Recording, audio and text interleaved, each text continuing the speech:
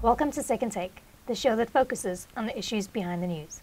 Mining Weekly editor Martin Creamer joins me today to unpack the latest in the mining industry. Welcome, Martin. Thanks, Ashley. Can you tell us about Orion Minerals' plan to build smaller but get base metals into production sooner?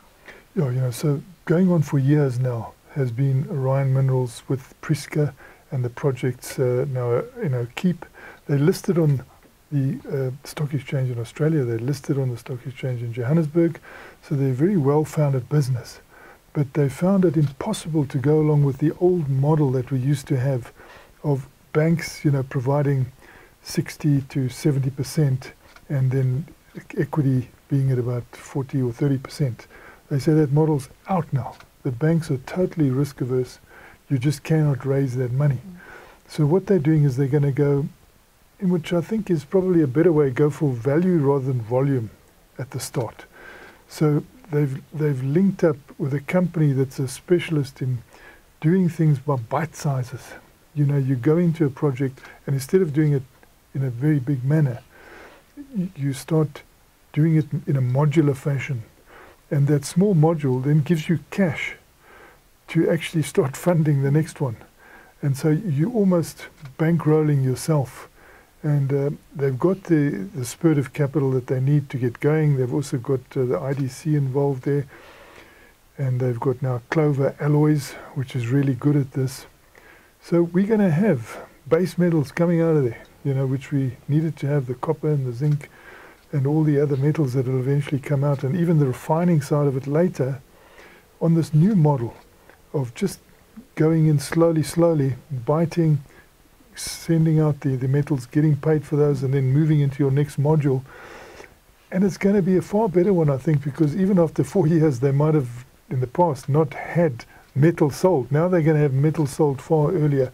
So perhaps this is a model that, that juniors can follow. You know, you get that initial spurt of cash to get you going from people who have taken up equity, mm.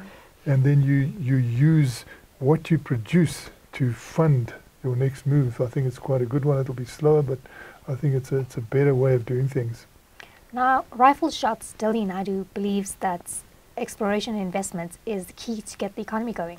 Yes, well, you know, we wouldn't be sitting here if we didn't get foreign investment more than 100 years ago to look for gold and diamonds. So it was actually exploration that is enabling us to sit here and have these pictures of Joburg behind us because it wouldn't have been here.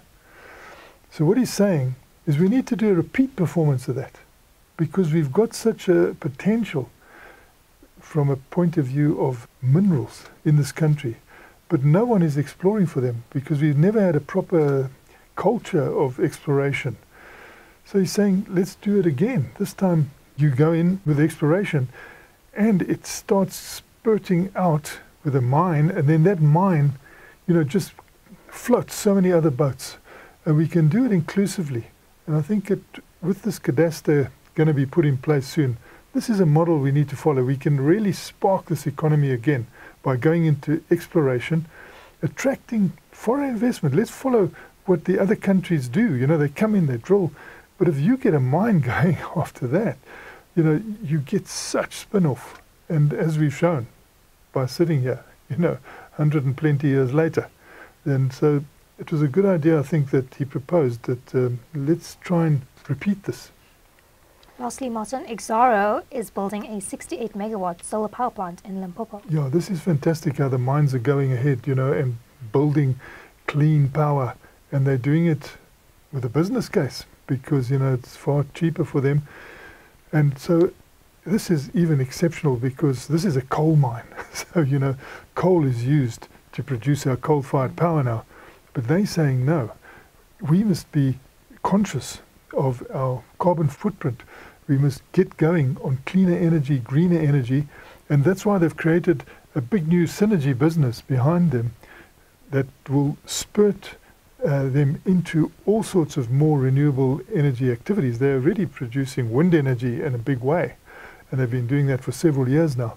This will be their move into solar, which is going to be just the start. So you, have coal companies becoming energy companies. It's a very good way to go. And as you need that coal, you've still got it from these mines.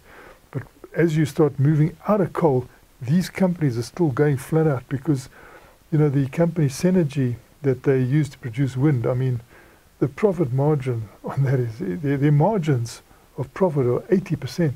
So, you know, this is a good business to go into. So they're looking at a lot more projects also in Africa.